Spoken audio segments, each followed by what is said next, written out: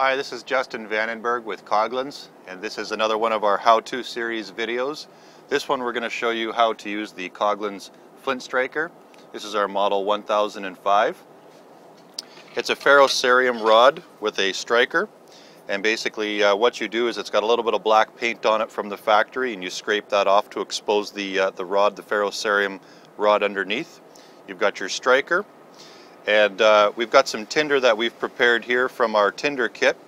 And once we ignite this, then we'll put a little bit of the uh, other tinder on here to get the fire going. So let's give this uh, let's give this a try.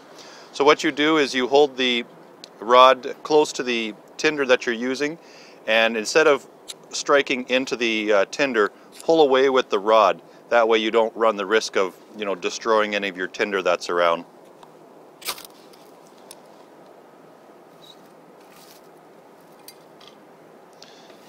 And once you do that, load on some kindling. And uh, your fire is going. Simple as that. Thanks for watching. You can check out other products and tips from us on our website at coghlans.com or go to our Facebook page at Coghlans Gear.